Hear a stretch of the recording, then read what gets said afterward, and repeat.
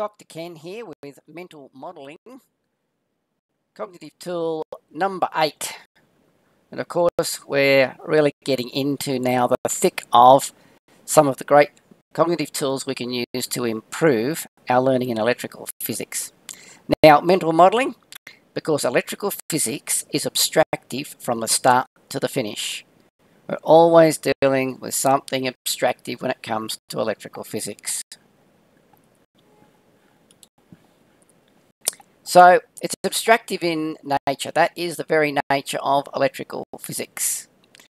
So if you remember, we're now building on cognitive skill number one, abstraction.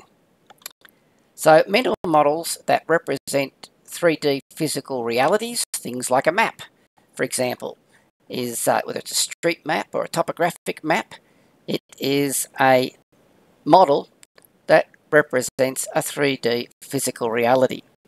We have mental models that represent non-physical concepts, uh, road rules, a story.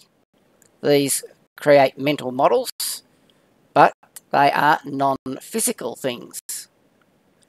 We have mental models that represent physical realities that we can't sense directly, and that's electricity. So that's why we're talking about mental models.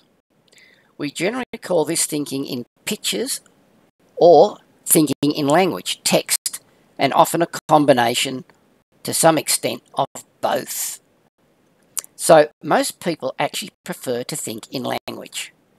But unfortunately, this does not lend itself to electrical physics very well. So for many people, we've got to train ourselves to think in pictures and models rather than think in language and text. So mental models that represent 3D physical realities. Some examples. An example is a road map. These maps are 2D models. They only have two dimensions, they're flat. Maps can be very general, a world map, or they could be very specific, a street directory. Yes, but I just use my GPS. Still a 2D map. A GPS is just an automated 2D map with some voice cues to tell you when to turn left, when to turn right.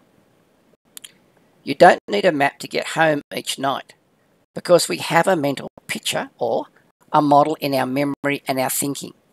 We have, in essence, learnt this because the map, the content, has a context. The context is to find your way home, gives the model meaning. So you can see we've learnt something. This is because the map, the content, it has a context. Its context is the way to find our way home, and it has meaning. So 2D map, two, sorry, 2D maps are a combination of two dimensions and language. They're about 50-50. They've got about 50% mental modelling going on, and they're using about 50% language. So we can use some of that skill to build mental models. So mental models that represent non-physical concepts. So to keep the metaphor going, also a mental modelling skill, that is the use of metaphor. Mental models can represent non-physical concepts. Technical term like metaphysics, like the road rules or telling a story. They are metaphysical. They're above actual physics. If you hold a driving license, you have built up mental models of the road rules as concepts in language in the most part. Stay to the left, give way to emergency vehicles are examples. There is no fixed or strong picture to represent these rules. They vary with every situation. So your model is constantly being adjusted and varied, and you can actually adjust and run with it on the fly. When presented with a situation, you recall the script, the language concept. Some problems you can solve on the run, no problem. Story is conveyed in a language in language in the most part, isn't it? Try watching a movie with no sound. Reading a novel, you create the mental models required. At the movies, the director has actually done much of that stuff for you. So the actual effort in creating those mental models is much reduced. So story is a great way to create mental models, but it's based on language. Our third one is mental models that represent physical realities that we can't sense directly. It is much easier to build a mental model of the way home. I can see a 2D map model. I'm driving a car or riding a bike home in 4D. That's height, width, breadth and time. The world of metaphysics, in other words, the actual road rules or the, a story, is the water we swim in. It's the way we naturally do many of the stuff, and it's just automatic to us. That's why we say it's the water we swim in, and often comes without us having to do much thinking about it at all. The world of electrical physics combines both these aspects of metaphysics and a 4D reality. So electricity is a 4D reality.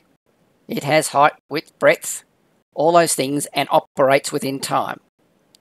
So for electrical physics, we need to develop mental models that represent what is going on, often at a subatomic level, the level of the electrons in particular. There is no fixed or perfect model. It will vary on each person how they would like to construct or picture the model. So what about thinking in pictures and text? So far I've explained that we generally think in pictures or we think in language text and often a combination of both of these to some extent but the heaviest leaning is normally towards that language text based modelling. First example of maps won't work without direction, described in language. That is north, south, east and west. So maps have a strong language component. Rules and stories won't exist at all without language. But even language uses pictures like analogy and metaphor. Also, mathematics is a language, just not a alphabet based language, but rather a symbol based language.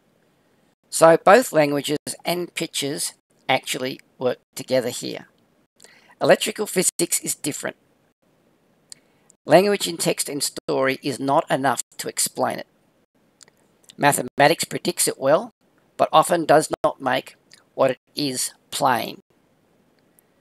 Pictures often fail through poor analogies and the contrast varying nature of the energy type. So the constant varying of the energy type, particularly when we get into AC.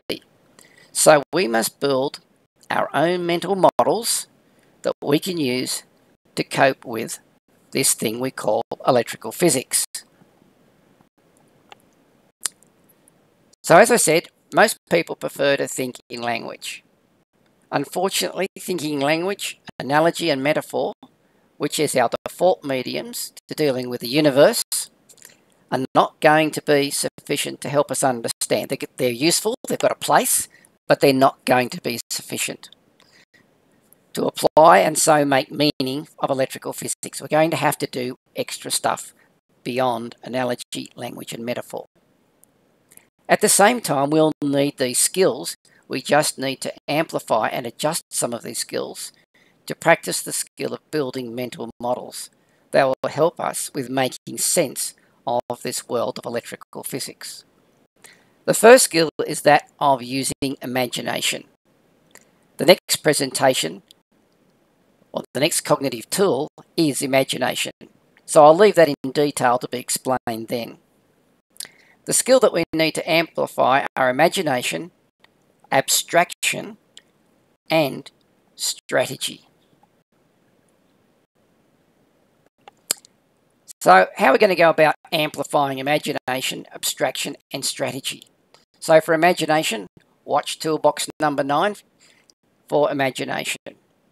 Abstraction electrical physics is best exemplified through mathematics. It's, it's our strongest abstraction tool. As already explained, maths is just an abstracted modelling system. One of the best things you can do is to learn how the basic model works through algebra and geometry, particularly also trigonometry. Particularly when we get up into AC, we're going to be using a lot of triangles and a lot of right angle triangles. So trigonometry is a great tool. So algebra, geometry, and particularly trigonometry. There are plenty of places to do this. My suggestion is the Khan Academy. It's an online. This is a free online school and it has great little videos. They're never any more than five to ten minutes long each to teach you about a particular concept. And they're a great way just to learn the basics of algebra, geometry, and trigonometry. Strategy is all about being able to think ahead, look down the road, see what's happening, and maybe make some estimations about what is going to happen. Reading the possibilities, making mental models of these, and working through each of the models to see the possible outcomes. The best way to do this is games, playing games. So, this skill can be taught through playing games. Some obvious examples um, the traditional chess is a great way to start. Uh, games like Risk is a great one. The list goes on and on. There is plenty you can do. Um, there's one I particularly like called Scotland Yard, and it's a bit of fun and forces you to think two, three, four, five steps ahead. So playing these strategy games and playing them often will help you with building mental models and playing with that plasticity of your brain to be able to do that and think in modeling rather than thinking in language and text.